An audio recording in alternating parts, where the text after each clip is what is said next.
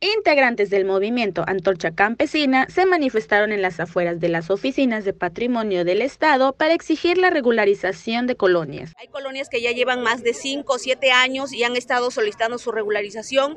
Está el caso de Malibrán de las Brujas, que tiene más de 17 años que están esperando ser regularizadas y que bueno, nos han dado largas y largas y largas.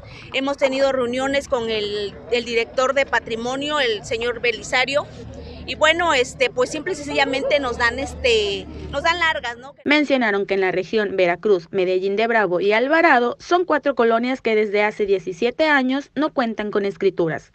Esta situación afecta a más de 2.000 habitantes. Por ello, los manifestantes pidieron a la autoridad agilizar el proceso de regularización, pues quieren contar con certeza jurídica de sus terrenos. Con información de Evelyn Román, informó para Abacom Marian Baizabal.